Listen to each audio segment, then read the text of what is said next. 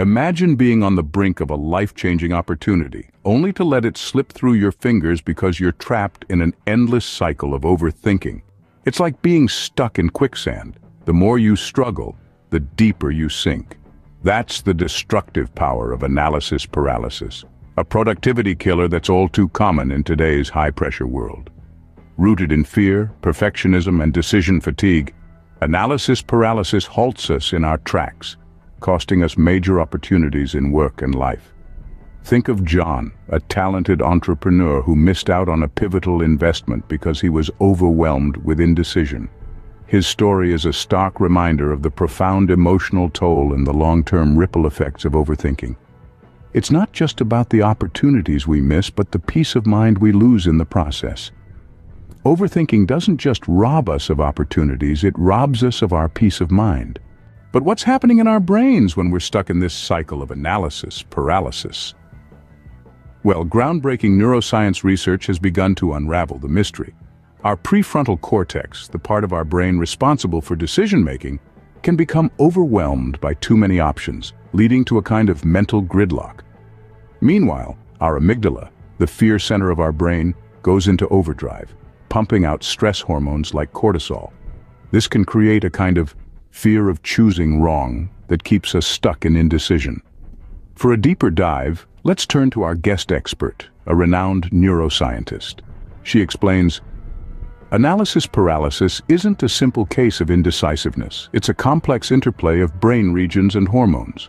Understanding these dynamics can help us devise more effective strategies to overcome it.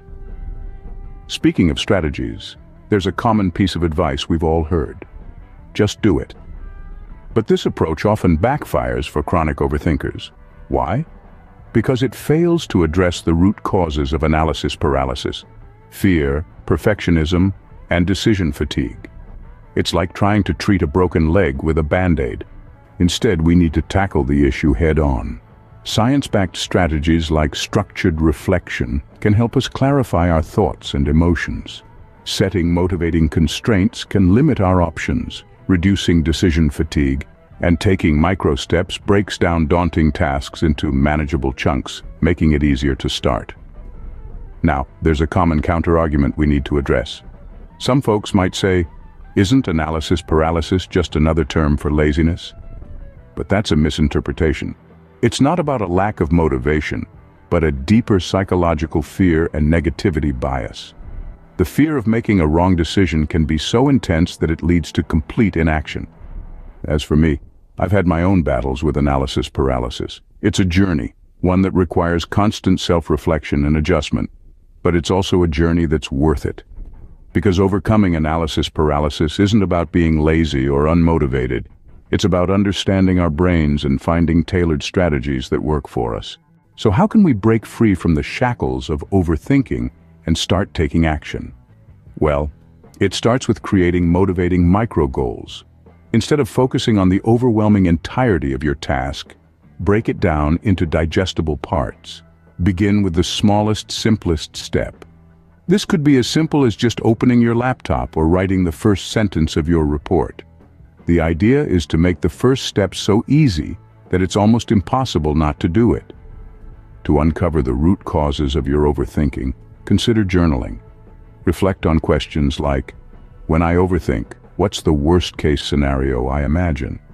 This can help you identify your fears and address them head on. And how about technology? There are numerous habit tracking apps and decision matrix templates designed to help you overcome analysis paralysis. Using tools like these can offer a fresh perspective and make decision-making more manageable. But remember, you're not alone in this fight. Find an accountability partner. This could be a friend, a colleague, or even an online community. Share your goals with them and ask for their support. They can provide that much-needed nudge when you're stuck in the whirlwind of overthinking.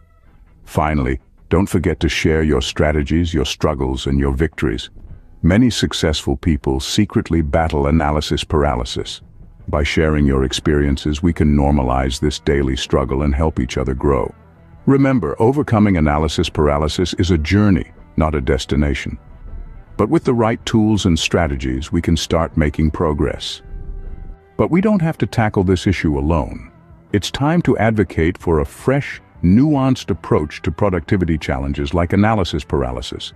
Let's challenge the status quo in our workplaces and societies, pushing for the provision of mental health resources.